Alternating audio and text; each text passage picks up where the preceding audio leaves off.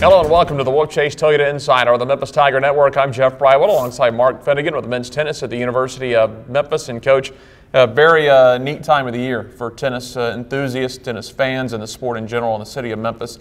Uh, you guys are uh, in the middle of your season. You've got a big match coming up this weekend in Nashville. We'll talk about later. You're just coming off a couple of matches here at home, but also the Pro Tour is coming to Memphis as well. So, kind of an exciting time, the amateur and the pros. That's right, Jeff. Always just a great time of the year. Um, in the past, in the history, we've uh, ended up playing Vanderbilt always on that Friday evening before the pro tournament starts. And on that Friday evening, we've usually had an announcement of one of our guys ending up getting a wild card into the qualifying of the of the of the pro tournament at the rec club. So it's always an exciting time of the year this this time. And uh, the last two years, we've had guys represent us really well at the tournament, and uh, just hopefully maybe it can happen again this year. And uh, and uh, everything. So it's kind of special too because sometimes you forget you're over there playing and, and you don't think about it. But now those players get to think I'm playing on the same facility, the same courts that these high level professionals play at. That's right. I mean, that's our goal always when the guys come in and is, is you know to get them feeling comfortable in that environment. And it,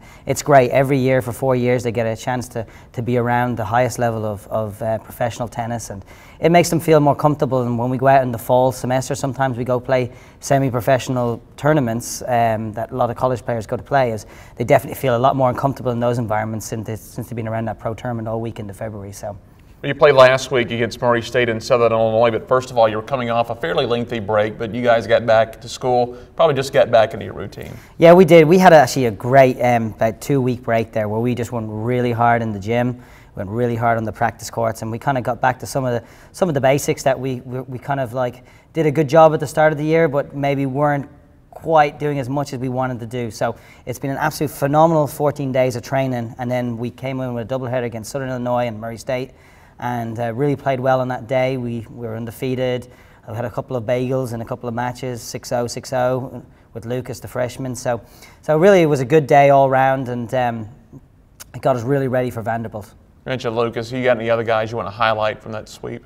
Yeah, I mean, um, David O'Hare obviously had great. He's been playing great, and uh, He's undefeated so far in the year. Joe Salisbury's undefeated on the year so far too as well.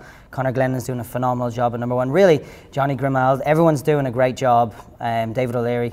I, honestly, this last 14 days has been the most for positive 14 days for our program in, a, in, in, quite a while, and uh, we really feel like the sweep of, of Southern Illinois and Murray State is going to give us some good momentum going into Vanderbilt. So you, you, talk about Vanderbilt. That'll be one of your tougher matches this year. You're going to go up there. They're ranked 40th in the country, and you have them in Nashville. Yeah, yeah, and we've had a great match with them last year. Um, we won 4-3. We were down 3-2 uh, with uh, Johnny Grimal and um, our senior from last year, Leon, was on the court and Leon saved some match points, went on to win that, one to make it 3 all, and then Johnny had a phenomenal win in the third set to close out the match 4 3 and to beat Vanderbilt. It had been a long time, Jeff, since we'd beaten Vanderbilt, so that was pretty um, satisfying. So going up there, I'm sure they're going to want to get to get some revenge on us, but uh, hopefully what we can do is we can get that momentum we had from last year, and we feel like we're a much improved team from last year. So hopefully, you know, they're a top 40 team, but we feel like we're ready to take them down. So. Well, if you're an improved team from last year, that really bodes well for you guys this spring. Well, we definitely we're definitely improved team with our talent, but still we're we're still having to put all the little pieces together. Uh, we're getting better at doubles every day, but uh, yeah, for sure, you know we have big expectations for this team this whole year, and um, we've we've always expected them to even improve on what a great year we had last year. So. Talking about going to Vanderbilt again and the, and the spring semester and the improvement off of last year, how, how does the team handle that now? Are they pretty confident? Do you see them putting any pressure on themselves? Are they pretty businesslike about how they go about things? Yeah, I mean it's it's it's it's a daily everything daily. You know, and we try to bring everything to practice 100% with effort and attitude every single day. Um, when you stop doing that, it doesn't matter how good your talent is, because anyone can win in college athletics on the day. So, but uh, every day it is a grind just to keep trying to bring it 100% with the effort and attitude. And if we keep doing the right things and we keep trying to do the things that we can control, we should be in good shape. And, and we're going to keep improving as a team as, as the year goes along. So.